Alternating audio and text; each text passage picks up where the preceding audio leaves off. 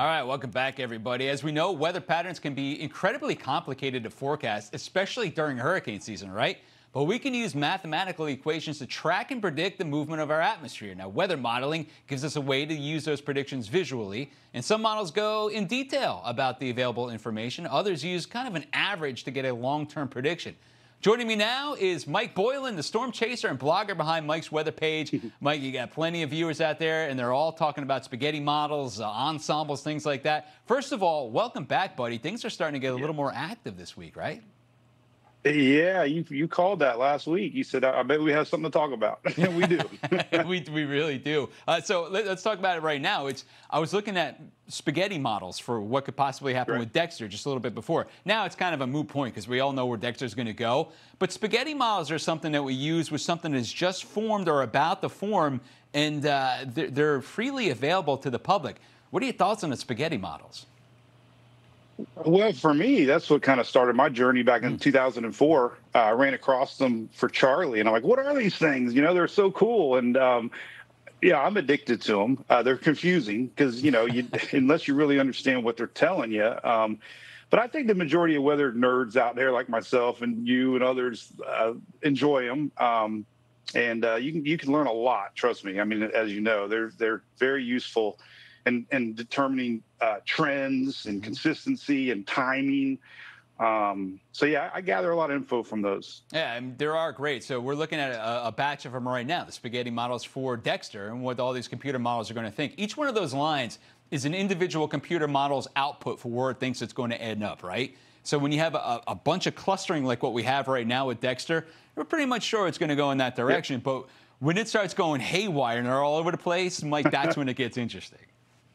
Yeah, I always refer to them like a bunch of brains. You know, like all of us have our own thoughts, opinions, and when it, we, they start to agree, you're like, all right, we got something to believe in. And um, you, you know, every storm. I remember, you know, for outliers, for example, with mm-hmm. Irma, and uh, we had a lot of trending on the east coast of Florida. But that year, the high pressure was strong, and it was building back in, and we had these outliers that were on the other coast of Florida, where it ultimately went. You know, what I'm seeing is two, three days out. Sometimes the outliers win and uh, especially with Ian, like I'll never forget Ian.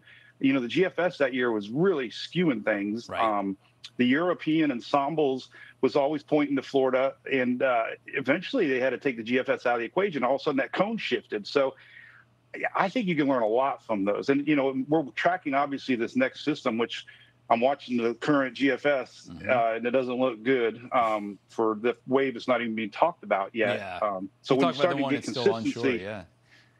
Yeah, that's you know I'm looking at it now. You know, mm-hmm. we, we mm-hmm. look at consistency in that. Um, so yeah, let, us talk about that. Stuff. It's interesting because you talk about the GFS. We, we for for long-term forecasts, like one that's about five to ten days out, you don't really want a deterministic model. You want the ensembles, right? The deterministic model puts all the information it has right there and pumps out one forecast, right? The, the, the ensembles, you can mess with it a little bit. You can maybe change the humidity here, a wind here, and you get a different plot of all the uh, models, and you usually take the average of that. Yes, it, totally. And I, and I like seeing uh, trends, you know. Um, right. And they pick up on trends usually ahead of their operational run. Mm-hmm. And you can spot that. Now, like this, you know, system in the middle Atlantic, uh, the GFS was going haywire with a U.S. landfall. Now yeah. overnight, all of a sudden, it, it caught up to the euro. so that's where you know I wasn't raising that panic button yet because mm-hmm. the euro didn't even have one ensemble showing the west coast, and right. the GFS is now saying that's going to probably go middle Atlantic. Um, but yeah, you're right. The deterministic models, I love them to death, like the HWRF and HMON and the HAFS. Those are great for intensity. Mm-hmm. Uh, so every yep. model is a little different. You know, like usually these Euro and GFS don't pick up on intensity very well. So I, you know, I use a blend of them. You know, some models are better at picking up things. Some are better, you know, with intensity. And right. you know, the ones each year that seem like they're not doing very good, and this year, unfortunately, it seems like the GFS. you know, you're right, and it's you're so right. You take a blend of all of them, and that's really the best way to do it. You want to see what one model's thinking European GFS. Yesterday, Stephen Morgan and I were joking around, Mike. We, we were watching the uh, GFS model, and it had like a Category three or four smashing into the Carolinas and holding its intensity all the way up through D.C., Baltimore, Philadelphia, and putting it in the Poconos as a Category one hurricane. Yeah. That was yesterday. Today we wake up, like you said, it's not even there. No, Nothing. And you know, I, I think this year the the um, the amount of folks that are on TikTok and you know sharing these individual runs. I was that guy. I'll admit it. I was Oh, that yeah. guy 20 years ago. Mhm. Um, but um, it raises that panic level, you know, because they had New Orleans a couple days ago. Then it, it's like it picked everybody. Everybody was getting a hurricane, but most people aren't into the weather as much as maybe you and I and others, Right, and, and they right. see that and they that's what they hold on to. You know, Yeah, they're like, so true. and so um, you yeah, have, it's you have to tough. think of the, bi- the, the biases too. Even if you're forecasting, like I, we've got the Fox weather model up here, that's a, uh, deterministic. Uh, You have to know what the biases are. Like for instance, in the wintertime, a, her, a, a model, a forecast model, isn't going to know where the snow is on the ground.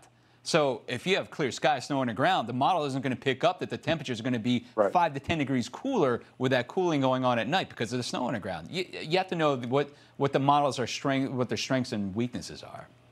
Totally, and there's a there's a gut feeling, common Yeah. sense, right? I mean, we have we were I think everyone's relying too much on the da- data, and they forget a little bit about common sense, you know, and Yeah. uh, that's just how you choose the message. And um, you just brought up the temperatures off the you know the Eastern Gulf there. Um, I'm surprised that they haven't highlighted that area because if you look at the Google AI and you, if you look at the Euro, it, it, there's quite a few ensembles showing a low lifting up early in the week. Um, and like you said, the waters are hot. Uh, we never really had much model support on, on where they marked 40, and that that really shocking them to me a little bit because really hadn't had much anything showing it developing, but they've you know 40 percent. So I, you know they might know, know. something we don't. But I know. um, we, we're, we're looking at that. We, we circle. I just circled the northern part of the Gulf and, and the West Coast. To your point, I mean, is we know that the, some of the models are drifting that energy. The energy is there right now, just east of the Right. Bahamas. Will make it its way. It's going to go over your house first, right? You know, at the end of the week, and then eventually it might goes into uh, the Gulf. Yeah, it's funny. right? Number one question I get, you know, everybody's so concerned about vac, and, and rightfully so, vacations and cruises. You know, I got Daytona coming up, and I'm already like stressing out. I'm asking myself, Mike, what about Daytona? Because I'm that guy now asking me, you know, uh, with these long range models. Um, I even emailed my contact at Daytona. I'm like, you know, we might have a little problem coming here. And, uh, Yes. so, I was so like, it's uh, you're it's right. crazy. It's like, welcome to the party. My wife, she always hammers me when she's out there and she gets caught in the rain, no umbrella. You didn't tell me it was going to rain. It's like, I was working. I didn't have time. That's the way it I, goes. in softball games, there- everybody comes up to me like I, and I'm off. See, the problem with the weather, like I'm optimistic. I don't want it to rain at softball, so Yeah. I'll be like, it's not going to rain, then it's thundering outside. yeah, I call that a like, wish you know, I cast. just- I do the same thing, I- I man. right. it's, a, it's a total wish cast for sure. But yeah, you have, you have the followers that ask you questions. Those, those are the ones, I guess, that have come up the most is uh, what's it going to be like at my house, right? Oh yeah, yeah. I feel bad. I mean, I you know I don't want to be a jerk, but I, I kind of like I, I'm laying out a broad synopsis of everything. You kind of have to think a little bit for yourself, a little bit. You know, like you, you, you know, especially living in Florida. I mean, and Yeah. then people that make plans in August, September. It's hurricane season. Yeah. We're always going to have to watch. Yeah, and know? if you don't get that, Um, you get a lot of rain with the sea breeze, the Gulf breeze colliding, all that stuff. So yeah, Florida, man, you, you, you need to know what it's gonna be like when you move down to that state. I love it, by the way. It's, it's my favorite. I absolutely love it. Yeah. Mike, man, it, it's a I'm ready. pleasure. It's a pleasure. I think, unfortunately, next week we're gonna even have more to talk about. Uh, if we're looking at these models that are hopping off, and uh, I, I'm, Yeah. I'm sure we'll be watching some stuff out there by MDR. We'll see if that gets loosened up a little bit more. Oof. Yeah, I mean, Yeah, no, I, I, this 12Z GFS is running right now, and it's you know agreeing with the euro on that Yeah. next future spot. So. Yeah, you saw it was uh, near Cuba. I mean, we're talking about 10 days out, but yeah, still. Yeah, I know, man. I just hate to see it uh, agreeing. You know, do too. 963 just north of uh, Puerto Rico here on the 16th. Yeah. Oh, you know what, Mike? We- Daytona. We, actually we have one of your we have one of your viewer questions right here. You want you guys want to pop that up? What was your most harrowing moment chasing hurricanes, Mike? I, I think I know it, but I want you to answer because I remember you talking about it before. Yeah, luckily your uh, producer. Yeah, Bob Parrish from Wesley you know, but, uh, how about that? Uh, uh, has to be Ian. All right. So we were we were camped out at Ian.